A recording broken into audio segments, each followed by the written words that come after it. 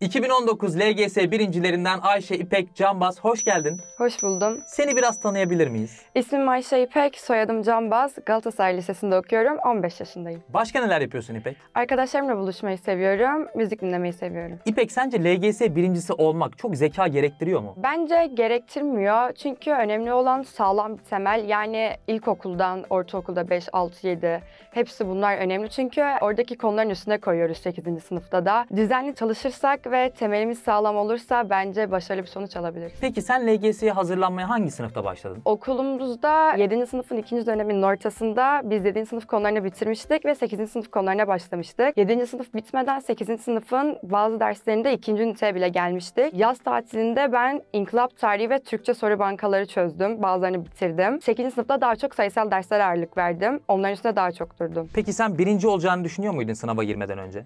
Ben hiç düşünmüyordum. Hocalarım, arkadaşlarım falan diyordu İpek sen olursun ya Kabataş'ı bırak Galatasaray, İstanbul Erkek hepsini yaparsın. Ama ben hiç inanmıyordum yani diyordum. Yok onlar işte motivasyon için böyle diyor. Yok aslında yani beni yiyorlar falan. Sınava girdiğimde nedense bilmiyorum. Hedefim vardı. Benim hedefim Kadıköy Anadolu'ydu. Hem başarısı iyi hem de sosyal imkanları fazla. Ama yani hiç Galatasaray falan hedeflemiyordum. İpek sosyal medya ile aran nasıldı? İyiydi. Hatta yılın ilk başlarında Ekim'de, Kasım'da falan arkadaşlarım diyordu ki İpek mesaj açsak anında online oluyorsun. Ne bu böyle? Geçen yıl bile böyle değildin. Kullanıyordum biraz. WhatsApp'ta sürekli online mıydın İpek? Evet.